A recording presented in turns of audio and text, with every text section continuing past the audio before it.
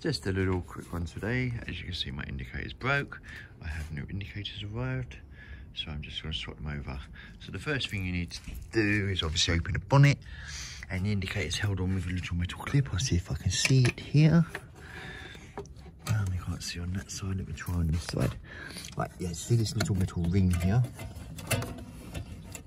That one there. This holds the indicator on. Basically, you just pull this and slide it down, and then release that the indicator at the front here. Just pulls out like this. Then you obviously just unplug there's the little springs that bit there. See that was hooked around the back of the light fitting which is there.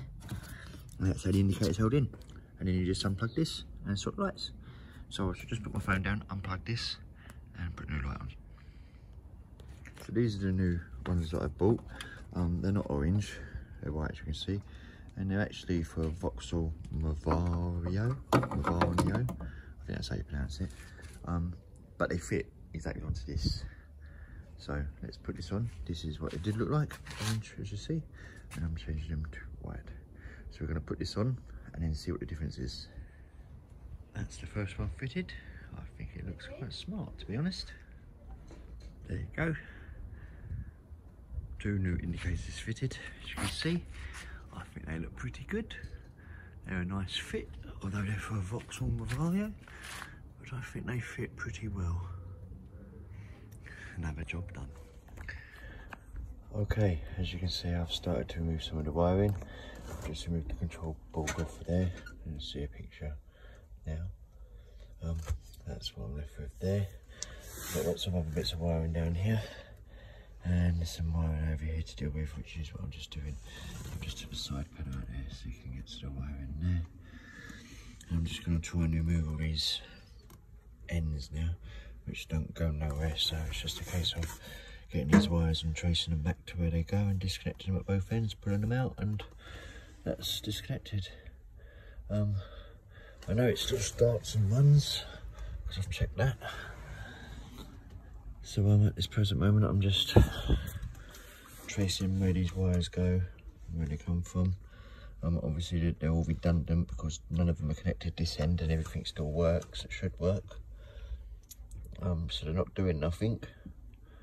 So um, I'm just going to find the other ends now and cut off. Or disconnect them and put them out. So that's what I'm doing at the moment. Wires, wires, wires everywhere. Every time I get a wire, I pull a panel back and there's loads more. It's like spaghetti junction, everywhere. a cancer of wires.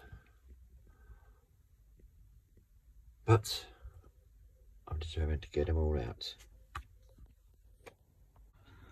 Well, as you can see, there's a mass of cables I've removed um, the bus is still running. It gave me a couple of um, complications taking out the Genesis system, but um, it is all out. Well, it's all disconnected anyway. It's not all out yet. There's wires everywhere. There's wires all behind these walls. There's still wires in the walls, as you see.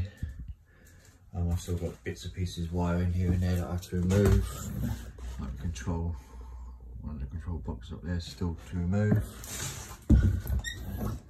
One there still to remove but all disconnected. Um, and the Genesis system is out. And I've still got to remove that one up there. I've removed the one from behind the dashboard there and there's the main um, what would you call it the main CPU or main control under the dashboard there which I've still got to remove. But like I say it's all been disconnected now the whole van is a total mess again.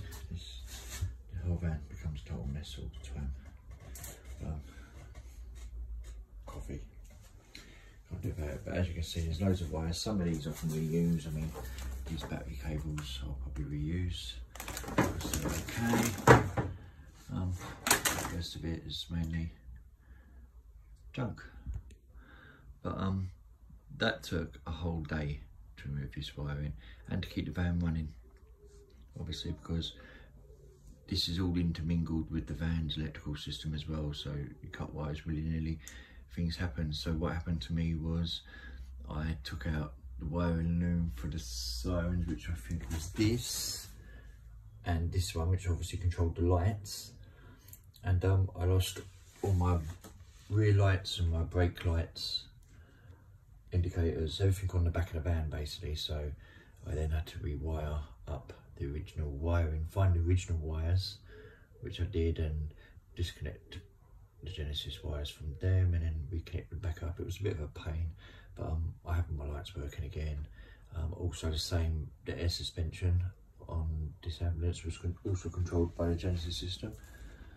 So obviously when I took the Genesis system off, my air suspension wasn't working, so I couldn't pump it up. So as a temporary measure, I've just literally wired the compressor and the um, and the pressure switch obviously um, to my ignition. So when I turn ignition on, the it, compressor comes on if it needs to, if the pressure switch tells it to. Um, so that's the temporary measure for that, but that's working fine at the moment. I will eventually get a switch so I can raise and lower it as I want. But at this present moment, yeah, that's it. So as you can see, lots of wires. But um, I'm getting there. Forget this, sorry. I've also, because I took the ceiling down, um, as I showed you before, um, and tried to drive the van, the ceiling was just flapping about so much. So I've stuck these buttons in. As you can see there, that's the, that's the ceiling fan there, coming along to the skylight, which is there to the back. So I had to stick these buttons in just to give the ceiling a bit of strength because obviously it was only fiberglass and it was, that was crooked there. Yeah, that was all straight. I'll check that. Um, yeah, so so obviously it was um flapping around a bit because only had that one metal support here, there, across the whole middle of the ceiling and with the weight of the skylight and the fan obviously it made it a bit flappy so I've stuck these buttons in as you can see there just to keep seeing a bit of rigidity until I um insulate it and ceiling up but that's going to be a while because I've got to do solar panels and a few other things I need to move this fan because although it's quite a big roof there's no space at the top because the skylight and the fan and aerials and things like that. So I have to move this fan forward to where that vent used to be, which I blocked up the other day.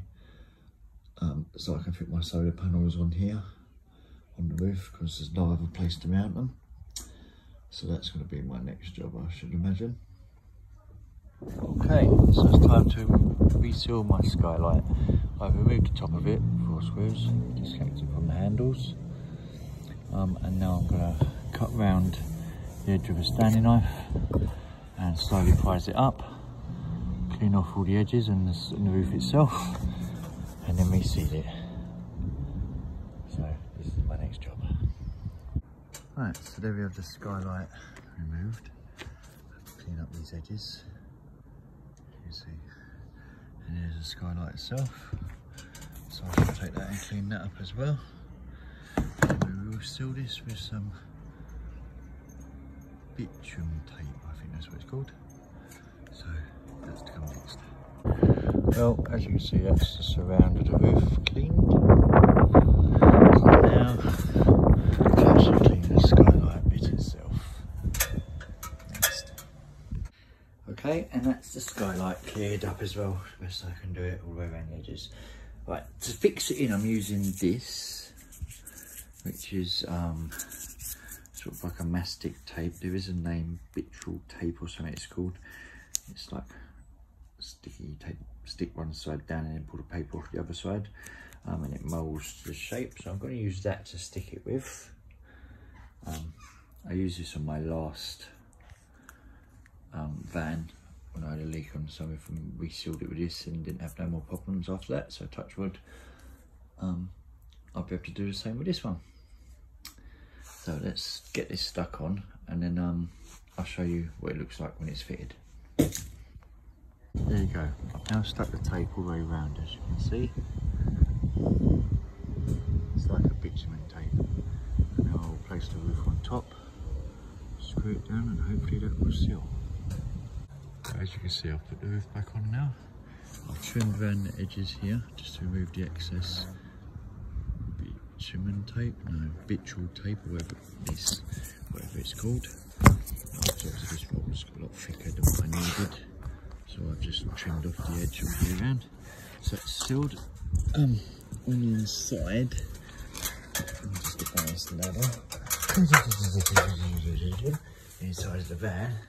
I've had to put the bottom bit on this around because obviously it clamps it pulls the top bit down and clamps it together like a sandwich you know so I needed to put the bottom on put it down clamp it and seal it to the tape. But that's how I've resealed my sunroof.